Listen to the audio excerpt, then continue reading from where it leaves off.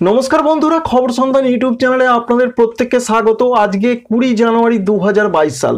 এই মুহূর্তের সব থেকে গুরুত্বপূর্ণ আপডেট আলিপুর আবহাওয়া দপ্তর জানিয়ে দিলেন, পশ্চিমী ঝঞ্ঝার জন্য শুধু বৃষ্টি নয়, পশ্চিমবঙ্গের উত্তরবঙ্গ, দক্ষিণবঙ্গে রয়েছে শিলাবৃষ্টির সতর্ক বার্তা কোন দিন রয়েছে, কোন কোন জেলায় সম্ভাবনা বেশি, সমস্ত কিছু আপনাদের সঙ্গে শেয়ার করার চেষ্টা করব। পশ্চিমবঙ্গের প্রত্যেকটা জেলার আবহাওয়াটা কেমন থাকার সম্ভাবনা রয়েছে পশ্চিমী ঝঞ্ঝা এফেক্টের জন্য। শেষ পর্যন্ত সঙ্গে থাকুন, কাজে লাগলে অবশ্যই একটি লাইক করতে ভুলবেন না, আমাদের চ্যানেলটিকে সাবস্ক্রাইব করে রাখার রিকোয়েস্ট রইল। এই মুহূর্তে আলিপুর আবহাওয়া দপ্তরের তরফ থেকে যে আপডেট প্রকাশিত হয়েছে, তাতে প্রথমেই আপনাদের দক্ষিণবঙ্গের আবহাওয়াটা জানিয়ে দেওয়ার চেষ্টা করছি। দক্ষিণবঙ্গের ক্ষেত্রে বলা হয়েছে, একুশ জানুয়ারি থেকে প্রধানত হালকা বৃষ্টির সম্ভাবনা রয়েছে কিছু কিছু জেলাতে। অর্থাৎ আগামীকাল থেকে দক্ষিণবঙ্গে বৃষ্টি ঢুকছে। উত্তর চব্বিশ পরগনা, দক্ষিণ চব্বিশ পরগনা, এছাড়া রয়েছে পূর্ব মেদিনীপুর, কলকাতা, হাওড়ার কোথাও কোথাও হালকা বৃষ্টি হতে পারে। বাকি জেলাগুলোর ক্ষেত্রে কোনো বৃষ্টির কথা বলা হয়নি। একুশ তারিখে কোনো শিলাবৃষ্টির সম্ভাবনা নেই। বাইশ তারিখের যে আপডেট রয়েছে তাতে পূর্ব মেদিনীপুর, পশ্চিম মেদিনীপুর, ঝাড়গ্রাম, পুরুলিয়া, বাঁকুড়া, পশ্চিম বর্ধমান, বীরভূম, মুর্শিদাবাদ। এই জেলাগুলোতে কোথাও কোথাও হালকা বজ্রবিদ্যুৎ সহ বৃষ্টি হতে পারে। বাকি জেলাগুলোর বৃষ্টি নেই। বাইশ তারিখে কোথাও কিন্তু শিলাবৃষ্টির সতর্কবার্তা নেই। তেইশ তারিখে এবং চব্বিশ তারিখে যে আপডেট রয়েছে সকাল পর্যন্ত, অর্থাৎ চব্বিশ তারিখ সাড়ে আটটা পর্যন্ত সকালবেলায়, তাতে বলা হয়েছে যে দক্ষিণবঙ্গের প্রত্যেকটা জেলা, কলকাতা, হাওড়া, হুগলি, দুই চব্বিশ পরগনা, দুই মেদিনীপুর, ঝাড়গ্রাম, বাঁকুড়া, পুরুলিয়া, পশ্চিম বর্ধমান, পূর্ব বর্ধমান, বীরভূম, মুর্শিদাবাদ। এই সমস্ত জায়গাগুলোর সঙ্গে রয়েছে নদিয়া জেলাতে। যে সম্ভাবনার কথা তারা বলছেন, বজ্রবিদ্যুৎ সহ হালকা থেকে মাঝারি বৃষ্টির সম্ভাবনা খুব বেশি ভেরি লাইকলি এর সঙ্গে বলা হচ্ছে, কিছু কিছু জেলাতে শিলাবৃষ্টির সম্ভাবনা খুব বেশি রয়েছে। যে সমস্ত জেলাগুলোতে শিলাবৃষ্টির সম্ভাবনা বেশি, তারা তার একটা উল্লেখ করেছেন তালিকা।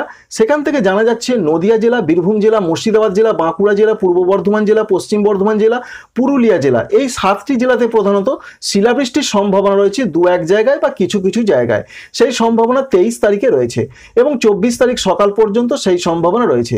এছাড়া আমরা লক্ষ্য করতে পারছি প্রধানত দক্ষিণবঙ্গের মধ্যে বৃষ্টির সম্ভাবনা যে বেশি জেলাগুলোতে হতে পারে সেই সব জেলাগুলোর নাম হচ্ছে বীরভূম, মুর্শিদাবাদ, পশ্চিম বর্ধমান, পুরুলিয়া, বাঁকুড়া, এছাড়া রয়েছে পূর্ব বর্ধমান, নদিয়া জেলার কোথাও কোথাও তেইশ তারিখ বিকাল থেকে রাতের দিকে এইরকম সম্ভাবনা সব থেকে বেশি রয়েছে। এটা অনলাইন আপডেট থেকে আমরা লক্ষ্য করতে পারছি। এর সঙ্গে এটাও আমরা দেখতে পাচ্ছি কলকাতা হাওড়ার সঙ্গে রয়েছে দুই চব্বিশ পরগনা, পূর্ব মেদিনীপুর। এখানে হালকা থেকে হালকা মাঝারি বৃষ্টি হতে পারে। পশ্চিম মেদিনীপুর, ঝাড়গ্রামে হালকা থেকে কোথাও কোথাও একটু মাঝারি, দু এক জায়গায় মাঝারি ভারী হবার চান্স রয়েছে। উপকূলস্থ জায়গাগুলো যেমন রয়েছে গঙ্গাসাগর, নামখানা, কাকদ্বীপ, সুন্দরবন, ফ্রেজারগঞ্জ, এছাড়াও দীঘা, মন্দারমণি। এখানে প্রধানত চব্বিশ তারিখে সকাল থেকে দুপুরের দিকে বৃষ্টির সম্ভাবনা বেশি।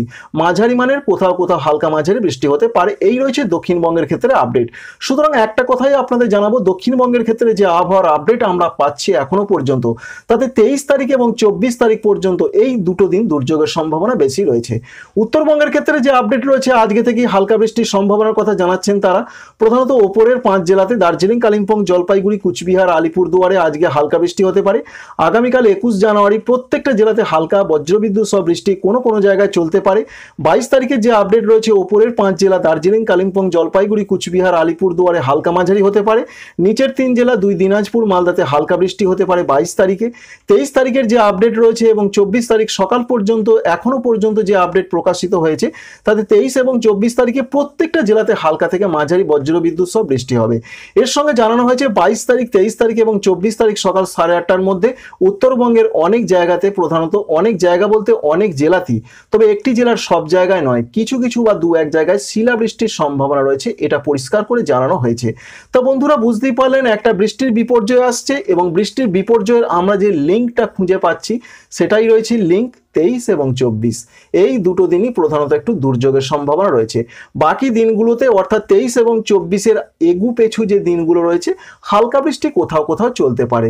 অর্থাৎ একুশ তারিখ, বাইশ তারিখ, অন্যদিকে পঁচিশ তারিখে কোথাও কোথাও দুই বঙ্গেরই হালকা বৃষ্টির সম্ভাবনা রয়েছে। আর আমরা যেটা বুঝতে পারছি যে কবে থেকে আবহাওয়াটা পরিষ্কার হয়ে যাবে, তাতে প্রধানত ছাব্বিশ তারিখ থেকে আবহাওয়াটা পরিষ্কার হয়ে যাওয়ার সম্ভাবনা এই মুহূর্ত থেকে দেখতে পাওয়া যাচ্ছে। এর সঙ্গে উত্তরবঙ্গের ওপরের পাঁচ জেলায় কিন্তু ছাব্বিশ তারিখ বা সাতাশ তারিখ পর্যন্ত কোনো কোনো জায়গায় একটু হালকা বৃষ্টির সম্ভাবনা থেকে যাচ্ছে। ভিডিও কাজে লাগলে অবশ্যই আমাদের চ্যানেলটিকে সাবস্ক্রাইব করে রাখবেন। Thank you friends thank you for watching